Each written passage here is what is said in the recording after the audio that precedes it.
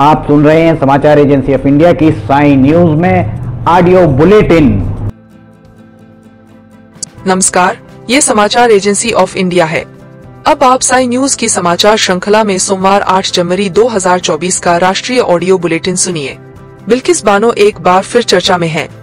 अदालत से उन्हें एक बार फिर न्याय मिल गया है। सुप्रीम कोर्ट ने बिल्किस बानो मामले के 11 दोषियों को जेल से रिहा करने का गुजरात सरकार का फैसला रद्द कर दिया है। गैंगरेप और सात लोगों की हत्या के सभी दोषी एक बार फिर कानून के शिकंजे में आ गए। सुप्रीम कोर्ट में जस्टिस बीवी नागरत्ना की बेंच ने फैसला सुनाते हुए कहा, दोषियों की सजा माफ़ी का फैसला गुजरात सरकार नहीं कर सकती। दोषियों को महाराष्ट्र में सजा मिली थी, इसलिए रिहाई पर फैसला देने का अधिकार भी महाराष्ट्र सरकार का है। जनवरी 2008 में मुंबई की सीबीआई स्पेशल कोर्ट ने बिल्किस बानो के दोषियों को उम्र कैद की सजा दी थी। चौदह साल के बाद 15 अगस्त 2022 को गुजरात सरकार की माफ़ी नीति के तहत सभी दोषियों को गोधरा कारागार से रिहा कर दिया गया।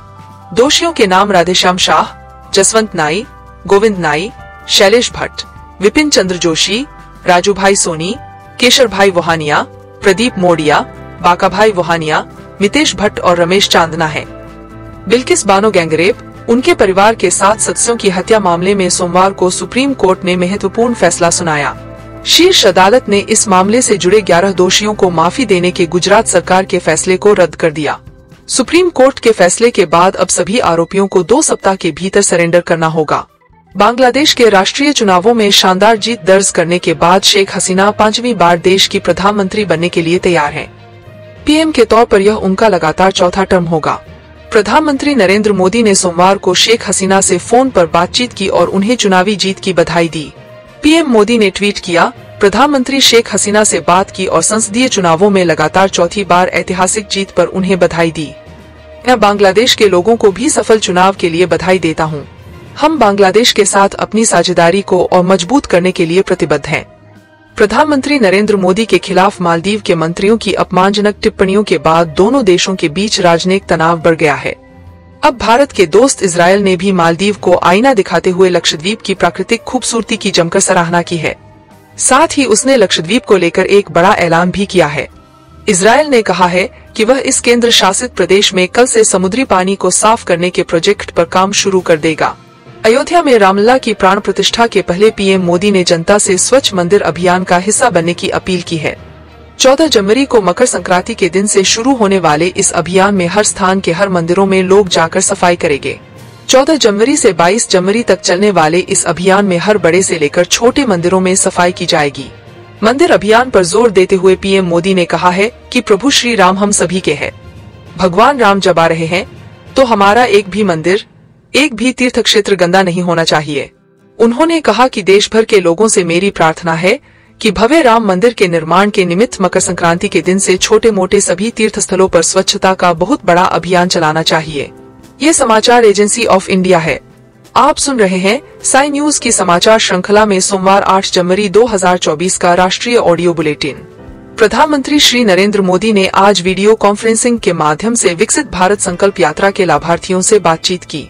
केंद्रीय मंत्रियों, सांसदों विधायकों और स्थानीय स्तर के प्रतिनिधियों के साथ पूरे देश से हज़ारों विकसित भारत संकल्प यात्रा लाभार्थी इस कार्यक्रम में शामिल हुए। प्रधानमंत्री से बातचीत के दौरान छत्तीसगढ़ के कांकेर के एक किसान परिवार से संबंध रखने वाली महिला श्रीमती भूमिका भुआराया ने बताया कि वह अपने गाँव में उनतीस वंधन समूहों में से एक में सचिव के रूप में काम करती हैं और उन्होंने वंधन योजना, Ujjwala gas connection, Jal Jeevan, MNREGA card, ration card और पीएम किसान सम्मान निधि सहित विभिन्न सरकारी योजनाओं का लाभ उठाया है। श्रीमती भूमिका द्वारा सभी सरकारी योजनाओं के नाम याद रखने से प्रधानमंत्री ने प्रभावित होकर कहा कि ऐसे अनुभव से सरकार को लोगों के लिए काम करने में काफ़ी हद तक मजबूती मिलती है प्रधानमंत्री ने उनसे समय पर राशन की उपलब्धता के बारे में भी जानकारी ली उत्सुक होकर प्रधानमंत्री ने श्रीमती भूमिका से सरकारी योजनाओं के बारे में उनके स्रोत के बारे में पूछा तो उन्होंने बताया कि उनका परिवार और माता पिता ही इसके स्रोत हैं।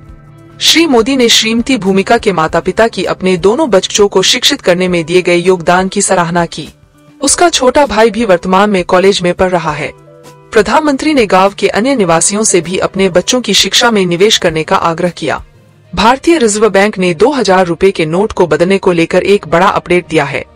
भारतीय रिज़र्व बैंक ने कहा है कि चलन से वापस लिए जा चुके दो हज़ार रूपए के नोट पोस्ट ऑफ़िस की मदद से भी बदले जा सकते हैं। रिज़र्व बैंक ने अपनी वेबसाइट पर अक्सर पूछे जाने वाले सवालों FAQ के एक समूह में कहा कि लोग अपने बैंक अकाउंट में राशि प्राप्त करने के लिए किसी भी पोस्ट ऑफ़िस से उसके 19 ऑफ़िस में से किसी को भी दो हज़ार रूपए के नोट भेज सकते हैं।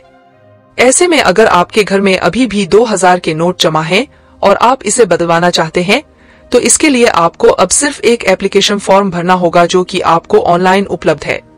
इसके बाद नोटों को पोस्ट ऑफ़िस की किसी भी सुविधा से आरबीआई के ऑफ़िस को भेजना होगा। जानकारी के मुताबिक फॉर्म आरबीआई की वेबसाइट पर उपलब्ध है। दरअसल दो हज़ार रूपए के नोट बदलने के लिए आरबीआई के क्षेत्रीय कार्यालयों में अब भी लोगों की कतारें लग रही हैं, जिसे देखते हुए केंद्रीय बैंक ने यह कदम उठाया है। आरबीआई के एफएक्यू के मुताबिक एक व्यक्ति डाकघर से मिलने वाली सुविधा के साथ रिज़र्व बैंक के 19 कार्यालयों में एक बार में बीस हज़ार रूपए की सीमा तक नोट बदल सकता है या जमा कर सकता है। लक्षद्वीप के प्रशासक प्रफुल्ल खोड़ा पटेल ने कहा है कि मालदीव के तीन मंत्रियों की प्रधानमंत्री नरेंद्र मोदी के खिलाफ अपमानजनक टिप्पणी भारत की गरिमा को भी चुनौती है। उन्होंने कहा कि भारत इस तरह का अपमान कभी बर्दाश्त नहीं करेगा। पूरे देश ने प्रधानमंत्री के साथ एकजुटता दिखाई है। मैं प्रधानमंत्री और लक्षद्वीप के साथ खड़े होने के लिए भारत के लोगों को धन्यवाद देना चाहता हूँ। दिल्ली के पूर्व मंत्री सत्येंद्र जैन को सुप्रीम कोर्ट से बड़ी राहत मिली है। अगले आदेश तक उनकी अंतरिम राहत बरकरार रहेगी। मामले में अगली सुनवाई मंगलवार को भी जारी रहेगी। सत्येंद्र जैन की ओर से अभिषेक मनु सिंघवी कोर्ट में दलीलें जारी रखेंगे। सत्येंद्र जैन की जमानत अर्जी पर जस्टिस बेला माधुरी त्रिवेदी और जस्टिस पंकज मित्तल की पीठ के सामने सुनवाई हुई। गुजरात में दसवें वाइब्रेंट गुजरात ग्लोबल समिट की पूरी तैयारियाँ हो गई हैं। यह शिखर सम्मेलन 10 जनवरी को गांधीनगर के महात्मा मंदिर में आयोजित होगा। दसवें सम्मेलन में वाइब्रेंट गुजरात की सफलता के 20 वर्ष पूरे होने का जश्न है। इस बार के सम्मेलन का विषय है, भविष्य का प्रवेश द्वार। ये समाचार एजेंसी ऑफ़ इंडिया है। आप सुन रहे हैं साई न्यूज़ की समाचार श्रृंखला में सोमवार 8 जनवरी 2024 का राष्ट्रीय ऑडियो बुलेटिन। केंद्रीय वाणिज्य एवं उद्योग, उपभोक्ता मामले खाद्य एवं सार्वजनिक वितरण और वस्त्र मंत्री श्री पीयूष गोयल ने भारत के जीवंत और विविध खाद्य इकोसिस्टम पर इंडस फ़ूड 2024 प्रदर्शनी का उद्घाटन किया जो India Exposition Mart, Greater Noida में आयोजित की जा रही है।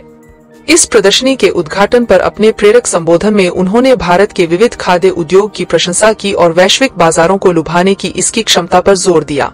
सतीश कुमार ने पाँच जनवरी 2024 को रेल मंत्रालय में रेलवे बोर्ड में सदस्य ट्रैक्शन एंड रोलिंग स्टॉक का कार्यभार संभाल लिया है। वे भारतीय रेलवे मैकेनिकल इंजीनियर सेवा के उन्नीस सौ छियासी बैच के अधिकारी हैं। श्री कुमार मार्च 1988 में भारतीय रेलवे में शामिल हुए और उनके पास 34 वर्षों का समृद्ध अनुभव है। एम रेलवे बोर्ड में शामिल होने से पहले वे उत्तर मध्य रेलवे, प्रयागराज में महाप्रबंधक के रूप में काम कर चुके हैं। वहीं, उन्नीस सौ सतासी बैच की भारतीय रेलवे कार्मिक सेवा आईआरपीएस अधिकारी और लेवल 16 पैनल में शामिल आईआरएमएस अधिकारी सुश्री अरुणा नायर को रेलवे बोर्ड के सचिव के रूप में नियुक्त किया गया है उन्होंने 6 जनवरी 2024 को कार्यभार संभाल लिया है इसके पहले वे मई 2023 से रेलवे बोर्ड में अतिरिक्त सदस्य, स्टाफ के रूप में और फरवरी 2022 से मई 2023 तक रेलवे बोर्ड में प्रधान कार्यकारी निदेशक, स्टाफ के रूप में कार्यरत थीं। श्रीलंका में वर्ष 2023 में पर्यटन के स्रोत बाजारों में भारत का नाम शीर्ष पर रहा। श्रीलंका में पिछले वर्ष चौदह लाख सतासी हज़ार पर्यटक आए, जिनमें 20 प्रतिशत भारत से थे। 2023 में श्रीलंका में कुल तीन लाख भारतीय पर्यटक पहुँचे। दूसरा स्थान रूस का रहा, जहाँ से एक लाख सत्तानवे हज़ार पर्यटक आए। श्रीलंका की अर्थव्यवस्था में विदेशी मुद्रा अर्जित करने में पर्यटन क्षेत्र की महत्वपूर्ण भूमिका है। भारत और श्रीलंका के बीच विमान सेवाओं के मामले में भी वृद्धि हुई है। एशियाई ओलंपिक क्वालिफायर राइफल और पिस्टल निशानेबाजी प्रतियोगिता दो शून्य दो चार में आज इंडोनेशिया की राजधानी जकार्ता में भारतीय निशानेबाजों ने पुरुषों की 10 मीटर एयर पिस्टल टीम स्पर्धा में स्वर्ण पदक हासिल किया। वरुण तोमर, अर्जुन सिंह चीमा और उज्जवल मलिक ने शीर्ष पर पहुँचने के लिए 770 अंक हासिल किए। वरुण तोमर और अर्जुन सिंह चीमा व्यक्तिगत स्पर्धा के फाइनल में भी पहुँच गए हैं। कोरोना के नए वेरियंट चेन वन पर नया अपडेट जारी हुआ है। सात जनवरी तक बारह राज्यों से जैन। वन के छह सौ बयासी नए मामले सामने आए। आधिकारिक सूत्रों ने सोमवार को यह जानकारी दी। उन्होंने बताया कि कर्नाटक से एक सौ निन्यानवे मामले केरल से एक सौ अड़तालीस महाराष्ट्र से एक सौ उनतालीस गोवा से सैतालीस गुजरात से छत्तीस आंध्र प्रदेश से तीस राजस्थान से तीस तमिलनाडु से 26, दिल्ली से 21, ओडिशा से तीन तेलंगाना से दो और हरियाणा से एक मामला सामने आया है। अधिकारियों ने कहा कि देश में संक्रमण के मामले बढ़ने और जेएन वन सब वेरिएंट के मामलों की पुष्टि होने के बावजूद तत्काल चिंता की कोई बात नहीं है। कारण है कि ज़्यादातर संक्रमित मरीजों ने घर पर रहकर उपचार का विकल्प चुना है। उनमें संक्रमण के हल्के लक्षण हैं। इस बार मौसम ने सभी को अचरज में डाल दिया है। पहाड़ी राज्य जो बर्फ़ की सफ़ेद चादर ओ लेते थे, वहाँ अभी बर्फबारी नहीं हो रही है। जम्मू कश्मीर, उत्तराखंड, हिमाचल प्रदेश जैसे पहाड़ी राज्यों में बर्फ़ के बराबर ही दिख रही है। पहाड़ी राज्यों में स्नोफॉल नहीं होने से पर्यटक भी निराश ही नज़र आ रहे हैं। देश भर में सर्दी का मौसम शबाब पर दिख रहा है। दिल्ली के आसपास धुंध के साथ बारिश की चेतावनी भी दी गई है। उत्तर, पश्चिम और मध्य भारत, पूर्वी राजस्थान आदि में भी बारिश की संभावनाएँ जताई गई हैं। आप सुन रहे थे समाचार एजेंसी ऑफ़ इंडिया की साई न्यूज़ की समाचार श्रृंखला में सोमवार 8 2024 का राष्ट्रीय ऑडियो बुलेटिन। मंगलवार 9 जनवरी 2024 को एक बार फिर हम ऑडियो बुलेटिन लेकर हाजिर होंगे। इसके साथ ही साई न्यूज़ में ज्वलंत विषयों पर लिमटी की लालटेन रोज़ाना सुबह सात बजे देखना न भूलें। यदि आपको ये ऑडियो बुलेटिन पसंद आ रहे हो तो आप इन्हें लाइक, शेयर और सब्सक्राइब ज़रूर करें। अभी आपसे अनुमति लेते हैं, जय हिंद।